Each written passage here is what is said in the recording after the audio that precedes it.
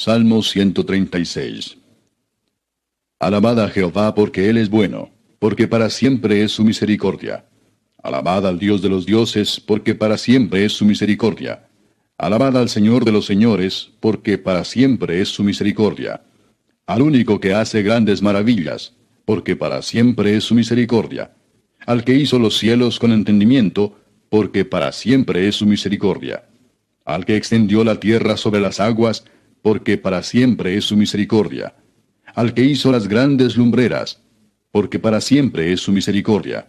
El sol para que señorease en el día, porque para siempre es su misericordia. La luna y las estrellas para que señoreasen en la noche, porque para siempre es su misericordia. Al que hirió a Egipto en sus primogénitos, porque para siempre es su misericordia.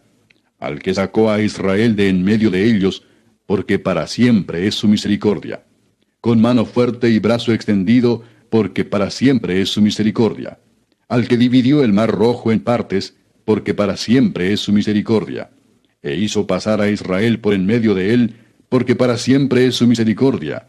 Y arrojó a Faraón y a su ejército en el mar rojo, porque para siempre es su misericordia. Al que pastoreó a su pueblo por el desierto, porque para siempre es su misericordia.